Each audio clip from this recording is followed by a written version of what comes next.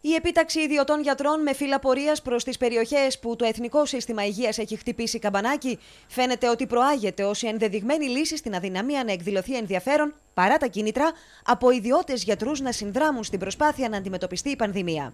Με τα κρούσματα να ξεπερνούν καθημερινά τις 8.000 και τα νοσοκομεία να αδυνατούν να καλύψουν τις ανάγκες, η επιλογή της επίταξης αρχικά στη Θεσσαλονίκη και αμέσως μετά στη Θεσσαλία φαντάζει ως λύση που πάντως γίνεται προσπάθεια να αναχαιτιστεί με τους ιατρικούς συλλόγους ήδη από το πρωί να ζητούν με mail και με SMS από ιδιώτες γιατρούς να ανταποκριθούν στο κάλεσμα και η αναγκαστική επίταξη να μην εφαρμοστεί. Δεν μπορούμε το 2021 σε δυτικού τύπου δημοκρατία να συζητάμε για φύλλα πορεία στους γιατρούς.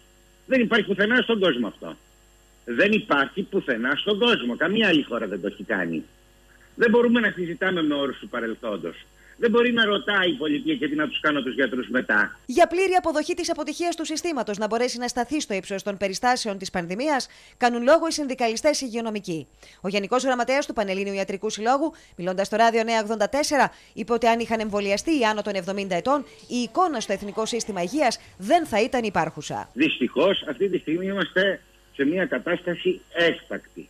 Τι πρέπει να γίνει τώρα που είναι έκτακτη, κατά τη γνώμη μου πρέπει να αυτό που είπατε, να περιοριστεί η διασπορά άμεσα. Πώς θα γίνει αυτό, όχι τιμωρώντας τους εμβολιασμένους, κύριε Σαφίνη. Θα πρέπει με κάποιον τρόπο να περιοριστούν αυτοί που κινδυνεύουν. Την ίδια ώρα, οι νοσοκομιακοί γιατροί σχολιάζουν καυστικά τα κίνητρα που δίνονται στους ιδιώτες γιατρούς για να ενταχθούν στο ΕΣΥ.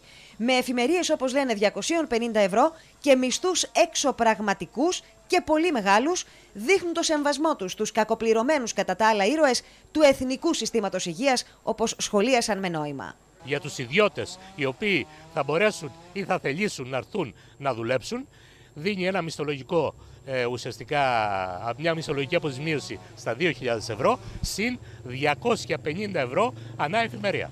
Τα οποία οι νοσοκομιακοί γιατροί ούτε στα όνειρά τους τα βλέπουν αυτά οι νοσοκομιακοί γιατροί, οι ήρωες που λέγαμε. Βάζει ιδιώτες από το, παρα... από το παράθυρο γιατρούς με αφορολόγητα χρήματα τη στιγμή που οι γιατροί του Εθνικού Συστήματος Υγείας είτε είναι σε αναστολή είτε φορολογούνται με 40% ε, τις εφημερίες τους και ουσιαστικά τους τα παίρνει πίσω το κράτος. Πάντως όπως τονίζουν νοσοκομιακοί γιατροί, το ζητούμενο δεν είναι μόνο αριθμητικό αλλά και ποιοτικό και πάντως εκτείνεται και στη μετά-COVID εποχή με φοιτητές της ιατρικής που δεν έχουν εκπαιδευτεί σωστά στα νοσοκομεία αλλά και ειδικευόμενους των τελευταίων ετών που κάθε άλλο παρουσιαστική γνώση λαμβάνουν μέσα σε δομές που ω επιτοπλίστων επί δύο χρόνια αντιμετωπίζονται μόνο ασθενείς με COVID-19.